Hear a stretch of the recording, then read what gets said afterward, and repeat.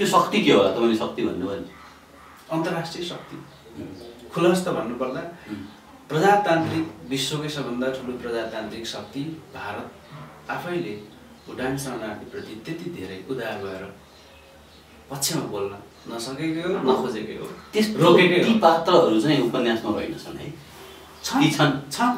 के ती? पात्रहरू छन्। ती पात्रहरू बोल्छन्। लेखक होइन पात्रहरू बोल्छन्। कुनै पनि हालतमा उहाँबाट आउन दिने फर्किन चाहिँ मरे पनि नदिने। रोक्ने। ट्रकबाट एउटा चाहिँ ठोस वस्तु कुनै निर्जीव वस्तु जस्तै ल्याएर अनलोड गर्न दिने लोड गर्न दिने एउटा मानवीय हिसाबले न्याय खोज्दै चाहिँ जान नमिल्ने जान नदिने। ती त्यसको विरुद्धमा मेरा पात्रहरू बोल्छन्। तेस्रो कुरा अर्कोमा नि बोल्छन् मेरा पात्रहरू जो अमेरिकाले साठी हजार लान मिल्ने सक्ने अरू देशले गरेर उहाँ एक लाखभन्दा बढी शरणार्थी सबैलाई तेस्रो देशमा गएर प्रजातान्त्रिक मुलुकहरूले सेटल गराउन सक्ने पुनर्वास गराउन सक्ने। तिमीहरूको मुख्य न्याय चाहिँ यो हो है। भन्नेमा चाहिँ एक रूपले एउटा सानो डकुमेन्ट मात्रै पनि अलिक जोडदार रूपले प्रस्तुत गर्न नसक्नु नगरिदिनु। त्यो पनि न्याय होइन। ती कुरा मेरा पात्रहरूले बोल्छन्। अन्याय हो भनी भनिकन जान्छन्। तर एउटा छ नि जस्तो तपाईँका पात्रहरू भुटान फर्किन नखोज्नु र भुटानी शासकहरूले यी हाम्रा नागरिकै होइनन् भने जस्तो तपाईँले अघि भन्नुभयो नि एउटा राजनीतिक सन्दर्भमा कि मान्छेहरू बाध्यताहीन विकल्पहीन विकल्पको रूपमा बाध्यतापूर्वक तेस्रो देशमा जाँदैछन्। यसमा त्यहाँका मान्छेहरू नेतृत्व गर्ने मान्छेहरू तपाईँले अघि अलिकति सन्दर्भ पनि ल्याउनुभयो।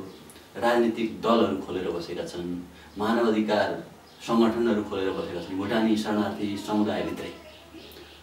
उनीहरू नेता चुकेका हुन् कि नसकेका हुन्? म चाहिँ किनभने भुटानी शरणार्थीसँग सम्बन्धित पार्टीका नेताहरू शरणार्थी नै नेताहरूप्रति नेगेटिभ धेरै म छुइनँ। जति त्यहाँभित्र क्याम्पभित्र मैले नेगेटिभ कुराहरू सुने अनुसन्धानको क्रममा नामै लिन नचाहने धेरै ठुलो विवादहरू होइन आलोचनाहरू एकदम पचाउनै नसक्ने आलोचनाहरू पनि सुने। आक्रोश थियो त्यो शरणार्थी साथीहरूको दिदीभाइ दाजुभाइ दिदीबहिनीहरूको। त्यो चाहिँ उकुस मुकुस पनि हो एक हिसाबले। र उहाँहरूप्रति किन हामीले त्यति धेरै नेगेटिभ हुन मिल्दैन भने सक्दो कोसिस त गरेकै होला। अब विभिन्न किसिमको फुट आयो अब त्यो नेपाली राजनीति पनि प्रभाव होला भन्छु। म अर्को नेपालीको खोइ त्यस्तै किसिमको स्वभावै हो कि जिनमै पनि बढी फुट्ने। अझै झन् क्रान्तिकारी भन्नेहरू जस्तो झन् बढी फुट्ने जस्तो। यो के हो कुनै मलाई त्यतातिर अहिले नजाउँ तर के चाहिँ देखियो मैले भन्दा हाम्रो नेताहरू हो नेतै होला। तर त्यो नेताहरूलाई एक किसिमले सप्रेस गर्ने थिचोमिचो गर्ने उसहरूको आवाजलाई चाहिँ आउन नदिने उनीहरूको शक्तिलाई चाहिँ सकेसम्म केन्द्रीकृत हुन नदिने शक्ति चाहिँ धेरै ठुलो शक्तिशाली भयो जस्तो लाग्छ मलाई। तपाईँले जस्तो त्यहाँ भुटानी समुदायको एउटा कुरा छ र नेपाली समुदाय नेपाली नागरिकहरू मानव अधिकारको काम गर्नेहरू गैर सरकारी संस्थाबाट काम गर्नेहरूले पनि उनीहरूको आवाज जति अरू विषयमा उठ्छ। त्यो विषयमा जस्तो तिब्बती शरणार्थीकै बारेमा धेरै ठुल्ठुलो कुरा उठ्छ। यो कुरा चाहिँ त्यति उठ्दैन। र तपाईँले अर्कै कुनै विभिन्न सन्दर्भमा तपाईँको पात्र तपाईँको मूल पात्र जो छ त्यसले त यो समुदाय यो गैर सरकारी संस्था अधिकारवादी संस्थाहरूलाई त उद्योग हो भनिदिएको छ। त्यो त्यो उद्योगले पनि त्यहाँ केही गर्न नसकेर त्यो आएको त आएको होला के हो? एक हिसाबले भन्दा यो गैर सरकारी संस्थाहरू त्यसमा काम गर्ने प्रशस्त होइन गर्ने मान्ने मानिसहरू पनि कुनै न कुनै शक्तिको प्रभावभन्दा पर छैन। तिनीहरू पनि दमित छन्। तिनीहरूले पनि कसै न कसैको इन्ट्रेस्ट अनुसार चाहना अनुसार बोल्छन्। किनभने उनीहरू बाध्य हुन्छन् उनीहरू स्वतन्त्र छैनन् स्वाधीन छैनन्। किनभने उनीहरू कुनै डोनर एजेन्सीको म्यान्डेट अनुसार चल्नुपर्ने उनीहरूको बाध्यता हुन्छ। त्यस कारणले ती मानिसहरूबाट त्यति धेरै होप गर्नु व्यर्थ जस्तो लाग्न थाल्यो मलाई पछि अनि अर्को कुरा नि एउटा आफैमा एउटा कन्ट्रास्ट छ। तपाईँको उपन्यासभित्रको कुरामा पनि र जो यथार्थसँग जोडिएको हुनाले त्यसमा पनि। कि भुटानी शासन व्यवस्था चलाउनेहरू अधिकांश बुद्ध धर्मावलम्बी छन्। हो, जो अहिंसामा विश्वास गर्छ। समानतामा विश्वास गर्छ भ्रातृत्वमा विश्वास गर्छ। तर त्यही शासनले आफ्नै नागरिकहरूलाई असमान व्यवहार गरेर बलपूर्वक एउटा हिंसाको परिभाषाभित्र राख्न मिल्ने गतिविधिहरू गरेर देश निकाला गर्छ यो के म आफै पनि म आफै म हिन्दू हुँ तर म बुद्ध दर्शनबाट बौद्ध दर्शनबाट धेरै प्रभावित मान्छे हुँ। धेरै कुरा मैले अध्ययन गरिनँ होला त्योभित्र आफ्नो ठाउँमा छ तर मलाई बुद्धको धेरै कुराहरूले छुन्छ प्रभाव पारेको छ। त्यस कारणले पनि मैले बुद्ध दर्शनको थुप्रै कुराहरू यहाँभित्र इन्क्लुड गरेको छु। तर मैले जब भुटानको शासकको त्यहाँको ज्यादती अत्याचार हेरेँ देखेँ सुनेँ होइन एक लाख मान्छे रहरले त्यहाँ आएर बगरमा त्यसरी दिनकै दर्जनौँ मर्ने गरी रहरले तिनीहरू आएका होइनन् नेपाली भाषीहरू। भने सोझै एउटा लाटोले पनि देख्ने कुरा के हो भने भुटानी बुद्धिस्ट शासकले बुद्धलाई अब्युज गर्यो। दुरुपयोग गर्छ दुरुपयोग गर्यो। बुद्धलाई दुरुपयोग गर्यो। बुद्धलाई अति धेरै नकारात्मक गर्न नहुने बुद्धले नगर भनेको निषेध गरेको सबै कुकर्म गरे। सबै किसिमको हिंसा गरे। सबै किसिमको एक हिसाबले अ, अधिनायकवाद लाद्यो होइन? अत्याचार गर्यो त्यो चाहिँ बुद्धको अपमान हो। बुद्धको खोलवडेको त्यो कुरो शासक- पात्रले भन्छ। भन्छन् र त्यो भन्नु पनि पर्छ। एउटा कुरा सुनाइदिनुहोस् न। तपाईँको पात्रहरू विदेश गएर पनि खुसी छैन। तर र संयोगवश त्यस्ता समाचारहरू पनि सुनिन्छन्। र उपन्यासको सुरुमै एकजना पात्रको विदेशमै मृत्यु हुन्छ। आत्महत्या हुन्छ। आत्महत्या हुन्छ। आत्महत्या गर्दा। त्यो सिन अलिकति तपाईँको उपन्यासबाट बताइदिनु न मिल्छ? एकदम म सिनमै जान्छु। के भएको रहेछ त्यहाँनिर? के हुनु अब यो कस्तो भयो भने उपन्यास लेख्दै जाँदाखेरि एउटा सनसनीपूर्ण घटना किनभने म अनुसन्धान अनुसन्धाता हुँ। त्यो क्रममा भेटेँ। भेट्दाखेरि अब के देखिन्छ भने आखिर तेस्रो देश जाँदाखेरि पनि खुसी त सबै छैन रहेछ नि। हुन पनि सक्ने कुरा आएन। किनभने आफ्नो स्वदेशमा आफूले भनेअनुसार कुनै कुरा गरिरहँदाखेरि त मानिस सुखी हुँदैन भने परतन्त्रमा सम्पूर्ण कुरो परतन्त्रमा बस्दाखेरि को सुखी हुन्छ।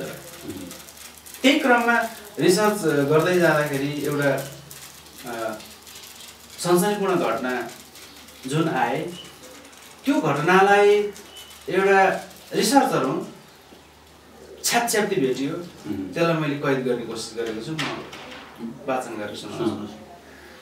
मार्मिक धुनसँगै एसेम्बल छेद विच्छेद तस्बिरहरू कम्प्युटरका स्क्रिनभरि चल्मलाए। वियोगका विसङ्गत बिम्ब प्रतिबिम्ब तस्बिरहरूसँगै सल्बलाए कुनै दिन तिमी मेरा लागि रुनेछौ जसरी म तिम्रो लागि रोएँ। कुनै दिन तिमीले मलाई गुमाउनेछौ जसरी मैले तिमीलाई गुमाएँ। एक दिन तिमी पछाडि फर्की हेर्नेछौ र महसुस गर्नेछौ तिमीले के गर्यौ? सधैँ उस्तै सपनासँग बाँच्नुभन्दा बरु मिठो सम्झनासँगै मर्नु बेस। पटक पटक मैले बाँच्ने प्रयास गरेँ प्रत्येक पटक तिमीले बाचा तोडिदियो। अनि म रोएँ रोइरहेँ आँसु पुछिरहेँ अदृश्य आँसुहरू पुछी साध्य नै भएन सपना बाहेक संसारमा केही बाँकी पनि रहेन। अनि मनमा लाग्यो ओहो आजसम्म म किन जीवितै? सुसाइड भिडियो सा सामाजिक सञ्जाल मार्फत छ्याछ्यापी फिजियो केही क्षणमै संसारभरि फैलियो सर्वत्र छताछुल्ल आफन्तहरू बिच अप्रिय आवाज गुन्जियो लौननी कान्छीले त आत्महत्या पो बोलिदिए समाचारले पनि भन्यो अस्ट्रेलिया एक्काइस वर्षीय एक नेपाली भाषी युवतीद्वारा सुसाइड भिडियो सार्वजनिक गरी झुन्डिएर आत्महत्या। केही क्षणमै हजारौँले सुसाइड भिडियो हेरिसकेको प्रतिक्रिया आयो। सूर्यझै वेगवान गतिमा उसले फोन गर्यो इमेल गर्यो एसएमएस गर्यो स्काइप अनमै बस्यो। उताबाट खबर आयो आफ्नै संस्कार अनुसार सद्गत गर्दैछौँ। मृत्यु संस्कारका मुख्य मन्त्रलाई अङ्ग्रेजीमा उद्धार गरेर तुरुन्त इमेल गरिदिनु। अच्छा भनेपछि उता पुगेर मृत्युवरण गर्नेहरूले पनि नेपाली संस्कार अनुसार नै अन्तिम संस्कार पनि गरिरहेका छन्। आफ्नो संस्कार अनुसार होइन? त्यो अङ्ग्रेजीमा उद्धार गर्नु किन पर्यो मूल मूल मन्त्रलाई? मृत्यु संस्कारको मन्त्रलाई पण्डित बाबा त्यहाँ हुनुहुन्न। त्यहाँ संस्कृत पढ्नलाई गाह्रो होला। संस्कृत मन्त्रलाई। भनेपछि त्यतैको पश्चिमाले पढ्छ त्यो मन्त्र? जसो तसो भए पनि आफ्नो संस्कारलाई त बिर्सिँदैन रहेछ। ओरिजिनालिटी त मान्छेले खोज्दो भने चाहिँ रहेछ। नेपाली भाषा बिर्सिसक्यो अङ्ग्रेजी मात्रै जान्दछ अब अनुवाद गरेर पठाएको भाषा मात्रै उसले पढ्न सक्छ। तेस्रो कुरा मध्य माध्यम भाषा पनि त चाहियो नि एउटा। त्यहाँ चाहिँ थुप्रै विदेशी पनि मलाई हामी हुनुहुन्थे उहाँहरूलाई बुझाउनु पऱ्यो। उहाँहरूलाई पनि बुझाउनु उम्. त्यहाँनिर स साथी सहकर्मीहरू सबै अब एक हिसाबले हेर्दाखेरि नगाडी भन्दा यो हाइब्रिडाइजेसन भन्छन् Mhm. जसलाई अब पछिल्लो पुस्ताले कतिले ने- नेगेटिभ पनि भन्छ तर यसलाई पावरको रूपमा अहिले प्रयोग भइरहेछ। अब के भन्छ यसलाई? नेपालीमा यो ठ्याक्कै यो टर्म उम्. के भन्छ? जुन हाइब्रिड ठिमाकरण ठिमा नेपालीमा त्यसरी प्रयोग भएको मलाई थाहा छैन।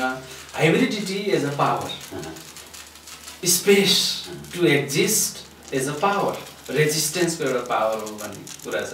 अब भुटानी रेफ्युजीले पश्चिमा देशमा गएर पुरै नेपाली नै बोल्नुपर्छ भन्नेमा म छुइनँ। किनभने इन्टरनेसनलाइज सम्भव। छैन। सम्भव पनि छैन। यो शक्ति हो। अब अङ्ग्रेजी भाषा भनेको एउटा शक्ति हो। शरणार्थीहरू अङ्ग्रेजीमा ब्रिलियन्ट हुनुपर्छ।